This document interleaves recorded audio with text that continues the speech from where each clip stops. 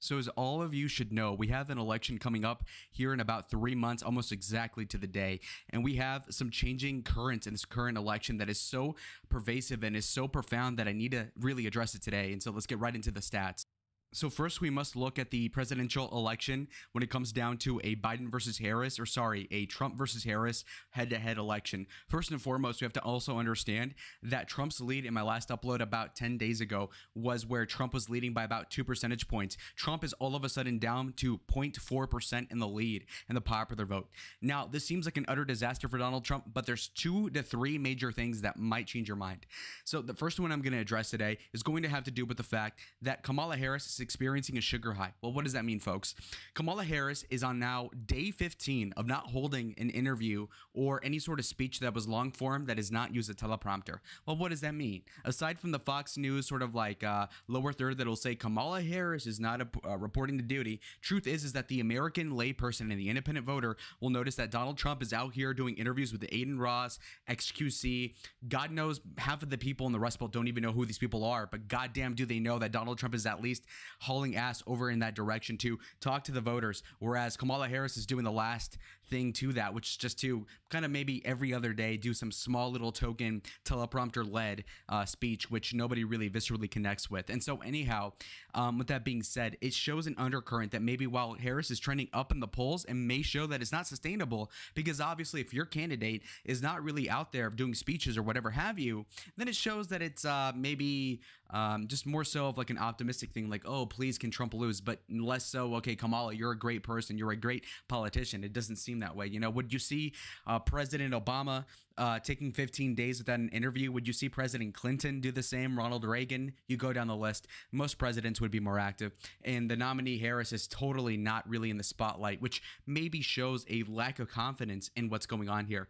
But the basic premise for the Kamala Harris campaign is ostensibly that, uh, you know, clearly she's getting closer in the polls as compared to where Biden was even before uh, the debate showed a salinity. The point being, uh, though, is that while Trump is losing by 0.4, or sorry, is at only 0.4 of an advantage in the popular vote, it's obvious that he is still likely to win the election. And I'm going to prove to you as to why that is the case. I've repeated this for months in a row, but for the new viewers, like and subscribe first and foremost. But second of all, while Trump may only tie in the popular vote, you have to understand that Joe Biden won the popular vote allegedly by about 4.5 percentage points in 2020. Trump was within about 48,000 votes from actually winning the election outright and the Electoral College. Now, what that basically means for you guys at home is that Trump would have to be losing in the polls right here by like five percentage points for him to be almost guaranteed to lose. And so, Trump winning the popular vote at all means that he's probably at a two thirds odds of winning the election, probably. Now, the different calculus in this election that has been more and more solidified over time is that the states that could have been in contest before when Biden was completely in free fall are really not so much in uh, shock and not so much in question nowadays. So, for example, New Jersey is deep blue because, as I said before, the states that are basically the ones that, again, a lot of even Democrats were like, okay, Jesus Christ, like, is this our nominee? Now, at least Kamala Harris is 60 years old. She is cognizant of what's going on. You could say she talks like she fell out of a coconut tree, but at least she's not uh, addled with dementia yet. Anyhow, so what that basically means for you guys at home is that Colorado is probably blue, New Mexico is probably blue, Virginia is also probably blue, Minnesota is also probably blue because again Biden won these Biden won them by a ton, and I think that any state that Biden won by more than five will likely stay to Harris. This includes New Hampshire, it includes Maine at large that he won by like nine percentage points. It also includes Nebraska's second district, which has been trending off of a cliff towards the Democratic Party ever since Romney uh, in 2012. So right now, Harris is leading Trump and Vance actually by seven electoral vote, vote uh, votes, and this is before we encounter a VP candidate uh, that she may pick any day now that might or might not be an encumbrance for the Republican ticket. It could be somebody strong and potent and popular in a Keystone state like Pennsylvania that the election ostensibly runs through, or it could be in another candidate that is actually pretty strong, whether that be Andy Beshear, who gives uh, purple kind of swing voter bona fides in a state such as uh, Kentucky, or God knows who else, uh, Mark Kelly as well, my senator out of Arizona. The point being is that things could get even worse for Donald Trump, but let's encounter the polls for what they are. So, starting with the swing states, we're going to start off with the state of Arizona. Um, this state was actually going about five or so points for Donald Trump against Biden uh, a month or so ago. Uh, it's been tightening, obviously, and if we get Mark Kelly in there, it's going to be a disaster, maybe for the Republicans. But as of right now, Trump is leading the aggregate uh, as of the past two weeks for about, I think the percentage here is close enough to three that I can just call it there.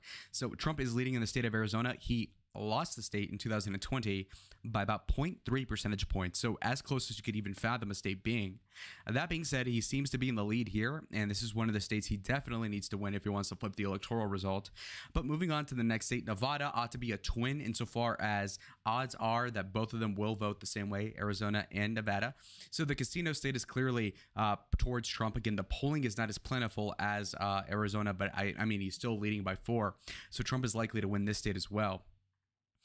Mm, also, keep in mind the targeting of the election propaganda. Again, Trump is saying, I will not tax your tips, which is outsized uh, support towards again the service industry again uh, for waiters and for people that work in the service industry that is predominant in Vegas in the biggest city of the state of Nevada. And so while this policy would be popular anywhere, obviously there's an outsized amount of people that would benefit in this case by the uh, the Nevada constituency. And so I think that Nevada probably has a better chance of being Republican than Arizona, which is somewhat tragic because again Arizona has like double the electoral votes, but anyway, they should be voting in line with each other to be completely clear. North Carolina is another state that I actually made the argument should not even be a swing state on this website because obviously Trump was beating Biden by like seven percentage points last month in North Carolina. Seemingly, the black turnout has been pretty impressive for Kamala Harris. Again, this is over online polls and not necessarily uh, brass tacks. Okay, well, who's actually going to be bust to the polls? Who will walk their way into the polls? It's a different question altogether. That being said, though, when it comes to black women, a coalition that was so strong for somebody like Barack uh, Hussein Obama, uh, you can see that these people will likely vote more so for Harris than they would have done otherwise for Biden. Obviously, the question is will you take a white guy in Trump and then somebody who's at least a brown like Kamala versus two old white guys like Harris? I mean, sorry, Biden versus Trump. And so, I mean, with that being said, it seems kind of clear that black people might vote more Democrat, not necessarily by percentage, but more so just more of them turning out which typically is a bad thing for the Republican Party. And so it might make North Carolina closer. That being said, as of right now, Trump is leading Harris by 5.5 percentage points, which is a pretty dominant showing. Uh, again, the black vote, despite being pretty vital in a lot of these swing states, it is not the end all be all. In fact, 1% of the white vote in these swing states is equal to maybe three or four percentage points of the black vote, obviously, because black people make up maybe 20% of uh, North Carolina. And so, again, the white vote matters a lot more proportionately when you do it as a percentage because obviously there's more white people. And so it just depends how that shakes out. You can see Harris having more popular vote support because minorities support her more through identity politics and whatever else. But when it comes to the white people, her uh, record as being the most liberal senator, which is somewhat hard to believe, is totally going to drive the middle class whites apart from her like the Red Sea thousands of years ago. And so I think North Carolina will confidently be in the Trump column going forward. Even Romney won it, by the way. Now, at least I hope I'm right about that, because if not, I'm an idiot. But okay, Georgia is another state that is pretty vital for him to win.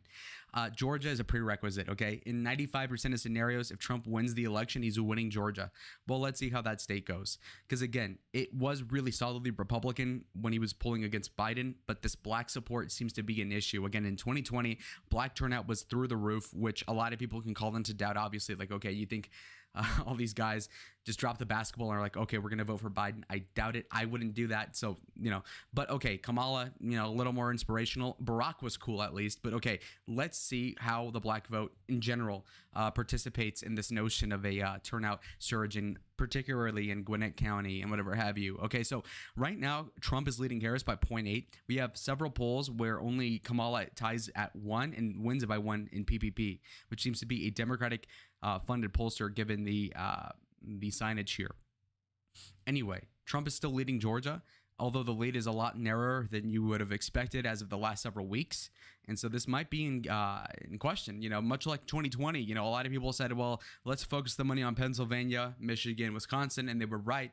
A lot of people low key said, okay, people like Radical Politics is like, okay, well, actually, him going to Rome, Georgia in October 2020, these things is actually pertinent because Georgia might be a slight, you know, very close, close fought state. And he was actually completely correct here. And so Georgia might be more competitive than what we give it credit for. In fact, where uh, last month we saw Arizona, Nevada, and Georgia be within about a percentage point of each other, being very solidly Republican swing states. You notice now that Nevada and, and uh, Arizona are pretty resolute in the Trump uh, camp, but Georgia might be more in question again because of the minority population. Now, again, there's a big uh, separation in gulf, presumably, between black people saying, well, okay, I'm going to vote for one of my kind versus, okay, well, actually go and make the effort to go to a chapel and vote. I just doubt it, but we'll see how this plays out in the future. Again, three months out from the election. So moving on, we're going to go to Pennsylvania, which might be the most favorable of the three uh, Rust Belt states for Donald Trump.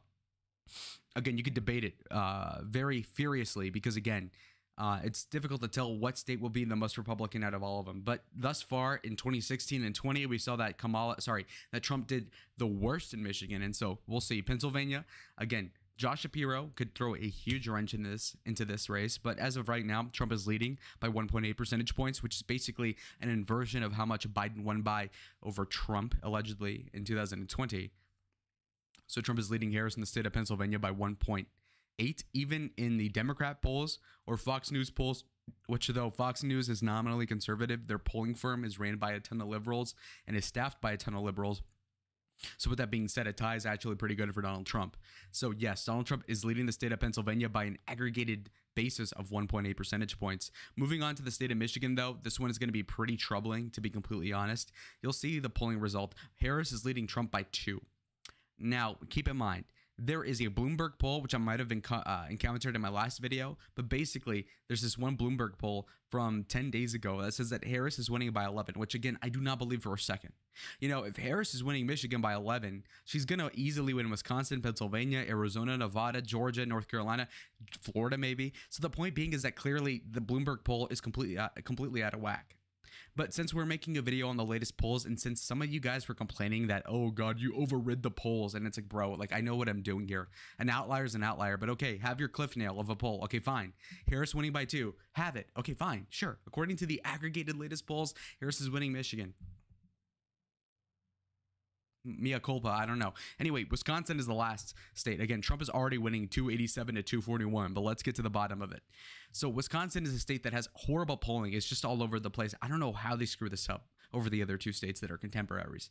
That being said, Trump is still leading by 0.2 percentage points over Harris, which is a very, very, very, very narrow margin. For you guys to understand here, uh, the margin of error in the average poll is anywhere from like three to four percent, and so to be up by 0.2 means literally nothing. I mean, it's like uh, it's like asking a super drunk person who's taller between a guy who's like five seven or five eight. I mean, he's bound to screw it up. Okay, if one guy lunge, you know, one guy's like hunching over a little bit, he'd get the whole prognosis incorrect, and so to be up by 0.2 really means nothing in the polling. Uh, sector. But that being said, for now, we're going to give Trump the W, which makes sense. Just that obviously, any people that are malcontent in the comments, just know that if you believe the polls at face value, you would have believed that Harris would win Michigan by 11, but then also lose Wisconsin by 0.2.